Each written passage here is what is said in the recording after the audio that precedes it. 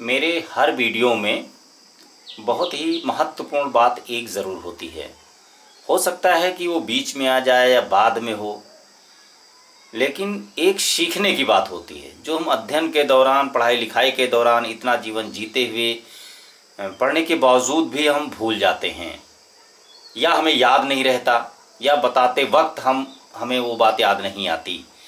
तो आप मेरा पूरा वीडियो जब देखेंगे, तब निश्चित रूप से आपको बहुत कुछ सीखने को मिलेगा।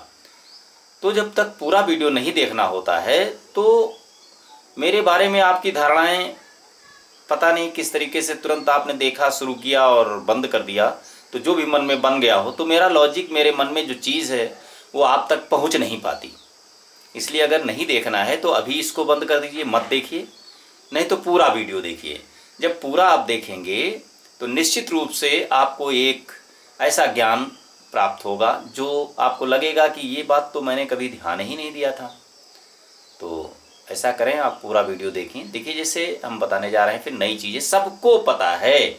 उसके बाद भी हम उसे अक्सर भूल जाते हैं। याद नहीं आता। जैसे वन एंड हाफ़ लिखना है। मैथमेटिक्स है, लेकिन इसको जीके समझ लीजिए जीएस समझ लीजिए। जनरल स्टडीज़ है, जो सब किसी को आना ही चाहिए। तो जैसे हम लिखते हैं कि 1.5 ये सेंटीमीटर, ऐसे लिखा हुआ है किसी क्वेश्चन में। और ये 1.1 एंड हाफ़ ही तो होता है ये सेंटीमीटर। लेकिन अगर हम कह दें कि आप रुपीस लिखें, तब भी 1.5 अगर हम कहते हैं डेढ़ लीटर पानी ले आओ तो डेढ़, यानी वन एंड हाफ़, इतने लीटर। ये रुपीज़ हो जाता है और ये सेंटीमीटर हो जाता है। अब यहाँ पर एक गौर करने वाली बात ये है, क्या ये तीनों सही हैं? देखिए, लिखने की भाषा में तो सही हो सकते हैं, लेकिन एक खास बात है जो मुझे आपको बताना था, इसलिए मैंने खास तौर पे दो तीन मिनट का वीडियो है जो डाला हूँ, और इसको देखिए तो आपकी समझ में आएगा कि हाँ ये तो बात आपने कभी गौर ही नहीं की थी। तो देखिए कैसे, जैसे जब हम वन एंड हाफ़ लिखते हैं, जैसे सेंटीमीटर है तो वन एंड हाफ़ लिखते तो वन क्या है? वन सेंटीमीटर है। लेकिन अगर अलग अलग बोला जाए तो ये फाइव क्या है? फाइव मिलीमीटर है। तो देखिए, वन सेंटीमीटर में मिलीमीटर होते कितने हैं? टेन। तो टेन का हाफ़ कितना होता है? फाइव।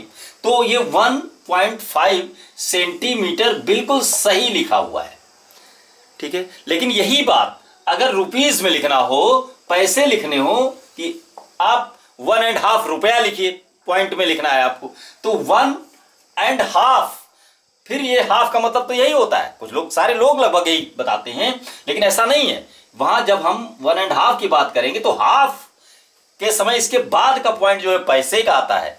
तो एक रुपए में कितने पैसे होते हैं, उसका आधा करिए। एक रुपए में सौ पैसे होते हैं, और हंड्रेड पैसे का हाफ़ करेंगे तो फिफ्टी आएगा। तो ये रुपीज़ जब लिखा जाएगा तो 1.50 लिखा जाएगा। जबकि अक्सर कोई कह नहीं सकता कि आप 1.5 डेढ़ नहीं है वन एंड हाफ़ नहीं है। बिल्कुल है, ये भी है और वो भी है। लेकिन एक समझदारी, एक पढ़ी लिखी भाषा, एक ज्ञान युक्त तो ये ध्यान रखना है। अब इसी में जैसे लीटर की बात आ जाए, लीटर। अब लीटर लिखना है वन एंड हाफ़ लीटर तो वन लीटर और plus half litre half litre क्या होता है? हाफ़ लीटर का मतलब होता है एक लीटर में जितने एम और होते हो। भाई, आगे एम लिखा जाएगा ना। ये लीटर है, पूछ, उसके बाद एम होता है। तो ये होता है वन थाउज़ेंड तो वन थाउज़ेंड का हाफ़ कितना होता है? फाइव हंड्रेड जब हम लीटर की बात करेंगे या किलोग्राम की बात करेंगे तो देखिए, जैसे जब कहा जाता है कि वन एंड हाफ़ के जी चीनी ले आओ तो ध्यान से देखिए उसको तो क्या रखता है वो? वो फाइव ये नहीं रखता है। वो वन के रखता है और फाइव हंड्रेड ग्राम्स और रखता है। तब जाकर के उसका ये होता है। तो यहाँ पर यह ध्यान देने योग्य है कि ये तीनों बातें एक ही है, लेकिन लिखते समय यह ध्यान रखना है कि जो पॉइंट के बाद का नंबर है, वो पहले वाले नंबर में कितने होते हैं, उसका हाफ़ लिखना है। कितने डिजिट तक?